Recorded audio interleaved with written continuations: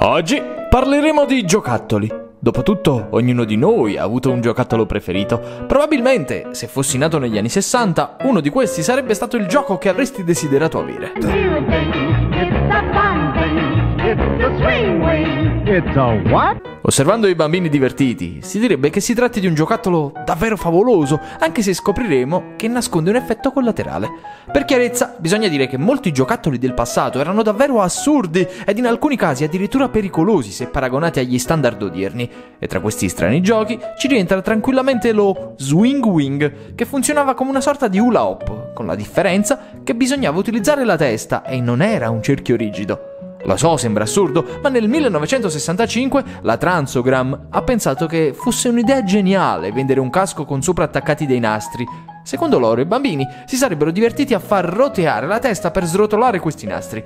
È strano a dirsi, ma avevano ragione, infatti il gioco divenne popolare, anche se va detto che in quegli anni non c'erano poi così tanti giochi tra cui scegliere. Ma ora passiamo alla parte negativa, all'effetto collaterale per così dire. Infatti, il prolungato utilizzo di questo gioco causava nei bambini emorragia cerebrale. Insomma, questo gioco ha causato la morte di dozzine di persone, tanto che dovette intervenire l'FBI per porre fine alla produzione dello Swing Wing, impedendo così ulteriori tragedie. Leggenda vuole che sia ancora possibile trovarne qualcuno, magari nei mercatini dell'usato, ma da Miretta ti conviene starne alla larga. E cosa penseresti se ti dicessi che in passato sono stati venduti piccoli laboratori giocattolo per educare i bambini alle meraviglie dell'energia nucleare con tanto di campioni di uranio? Probabilmente penseresti che sia impossibile e che l'idea è semplicemente folle. Ed invece è tutto vero. Nel 1950 venne creato e commercializzato il set da laboratorio per l'energia atomica Gilbert U-238. La sua invenzione si deve ad un ex atleta americano, mago, nonché produttore di giocattoli ed uomo d'affari praticamente una sorta di Tony Stark, di nome Alfred Clarton Gilbert. L'uomo voleva che i bambini osservassero le reazioni nucleari e chimiche. In questo modo, fin da piccoli, si sarebbero avvicinati alla scienza ed una volta grandi sarebbero divenuti importanti scienziati. Che dire, sicuramente un nobile ideale, soprattutto se si considera che chi ha prodotto il gioco affermava che era totalmente sicuro. Però non ci vuole un genio per capire che l'uranio può causare gravi conseguenze alla salute, come il cancro al fegato o alle ossa. Per non parlare del fatto che l'ingestione dell'uranio è ancora più pericolosa della semplice esposizione. Che dire, questo gioco era sicuro come può essere sicuro far giocare dei bambini a guardie e ladri con delle pistole vere. Nel 2006 la rivista Radar nominò il laboratorio Gilbert uno dei 10 giocattoli più pericolosi di tutti i tempi. Per fortuna il gioco non ha avuto il tempo di diventare popolare, anche a causa del suo costo, davvero troppo elevato. E anche se sono sicuro che oggi qualcuno magari sarebbe interessato a comprarlo, Fortunatamente non è possibile trovarlo in commercio.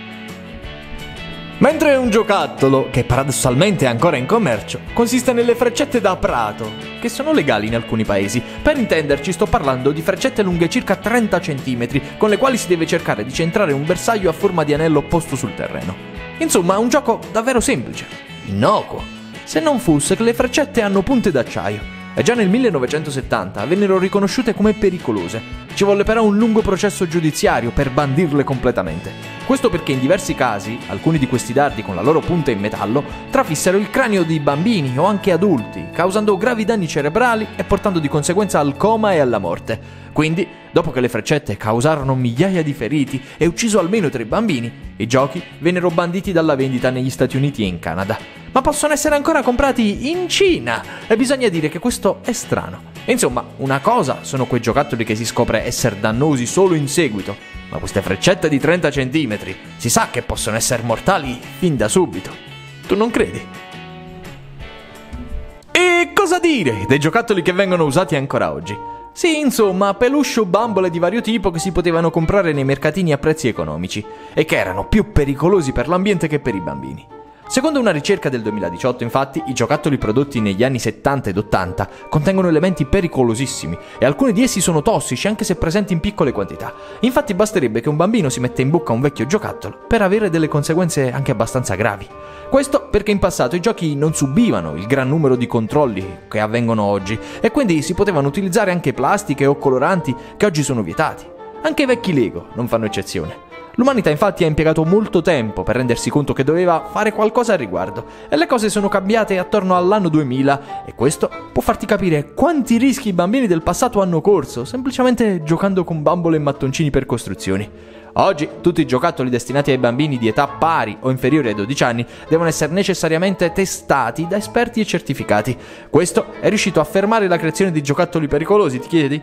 Beh, in linea generale sì, ma c'è da dire che alcune persone hanno comunque trovato il modo di trasformare giocattoli innocui in giochi potenzialmente dannosi. Ed ora ti mostrerò alcuni esempi che potranno aiutarti a capire.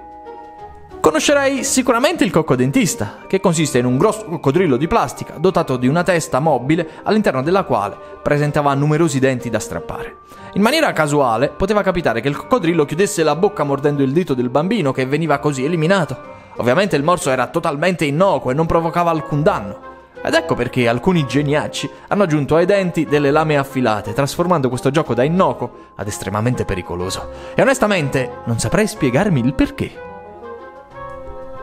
Dopotutto, la mente di alcuni esseri umani è davvero strana. Sì, perché non devi avere tutte le rotelle a posto se decidi di convertire una pistola d'acqua in qualcosa di potenzialmente letale, come un pericoloso lanciafiamme. In fondo, cosa potrebbe andare storto? In effetti stiamo parlando di una semplice pistola di plastica che potrebbe letteralmente fondersi sulle mani dell'idiota che l'utilizza, nel caso di un ritorno di fiamma. C'è da dire che questi due esempi sono relativi a giocattoli innocui comunemente commercializzati e che diventano dannosi solo a causa delle modifiche apportate da gente poco sveglia. Tutt'altra cosa sono i fidget spinner dotati di lame, che sono tranquillamente acquistabili su eBay. Ricorderai, 4-5 anni fa, questi giocattoli andavano davvero di moda, quasi tutti ne avevano uno.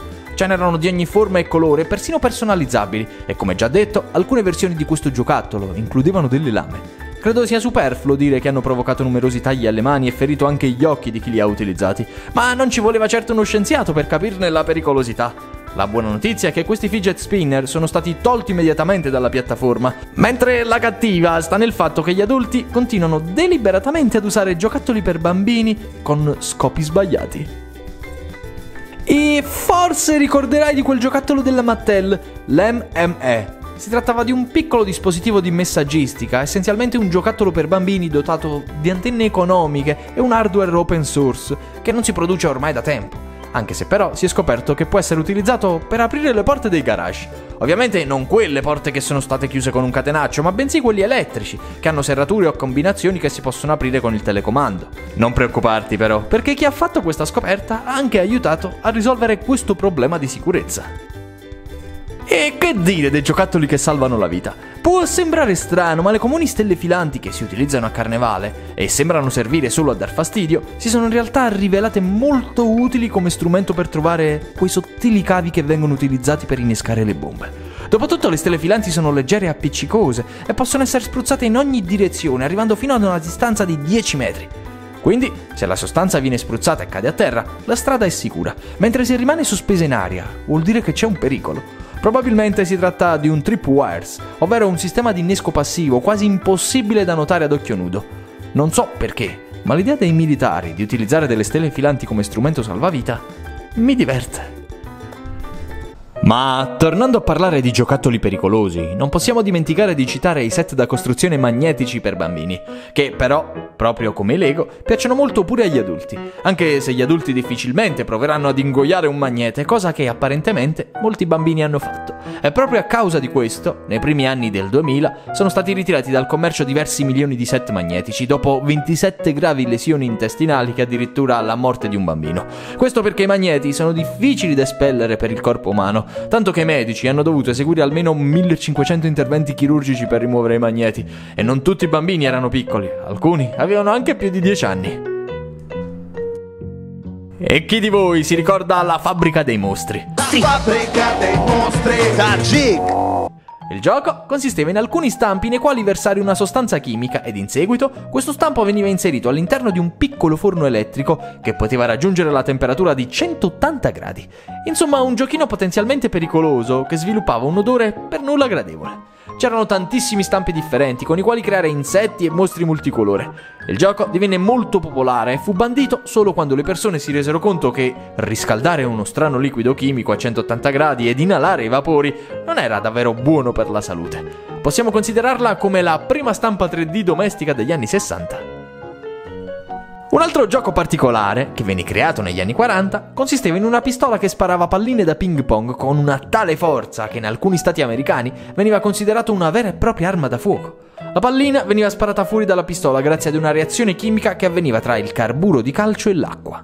Il risultato di questa reazione produce però numerose scintille che possono facilmente bruciare la mano del bambino. Come se non bastasse, bisogna aggiungere che queste strane pistole spesso esplodevano e quindi è solo questione di fortuna se nessuno è mai morto mentre giocava con queste armi. Ed ora voglio parlarti delle amache. Lo so, non sono un giocattolo, ma io le ho sempre considerate innocue, proprio come giocattoli, finché non mi sono imbattuto in queste mini amache commercializzate in America attorno agli anni 80 e che hanno causato la morte di ben 17 bambini. Le amache in rete di nylon leggero costavano solo 3,99 dollari l'una ed i bambini correvano il rischio di rimanerci intrappolati e di conseguenza soffocare. I bambini morti soffocati nelle loro amache avevano tra i 5 e i 17 anni. Davvero spaventoso. Sono sicuro che Stephen King potrebbe scriverci un libro su queste maledette amache letali. Esiste poi un giocattolo che venne creato prendendo ispirazione da un vecchio film, del quale conoscerai magari il remake del 1997, Flubber, con Robin Williams. Avrei capito che sto parlando dello slime, ma non di quello moderno, bensì del primo esemplare di slime apparso per la prima volta nel 1963 e dalla sua commercializzazione si susseguirono almeno 1600 segnalazioni che riguardavano eruzioni cutanee e mal di gola, tutte legate a quel prodotto o a prodotti a lui simili che causarono ovviamente il ritiro del flubber dal commercio. A quel punto però ci si trovò dinanzi ad un altro problema, ovvero tonnellate di materiale tossico e appiccicoso di colore verde difficile da smaltire. Il giocattolo non poteva essere bruciato perché produceva un fumo nero altamente tossico. Leggenda vuole che sia stato interrato da qualche parte e sopra di esso sia stato costruito un parcheggio. Ebbene amico, questi erano alcuni dei giocattoli più pericolosi mai messi in circolazione. Tu ne conoscevi qualcuno, addirittura ne possedevi qualcuno? Fammelo sapere con un commento. Io per ora ti saluto, ma noi ci rivediamo domani con un altro video. Ciao!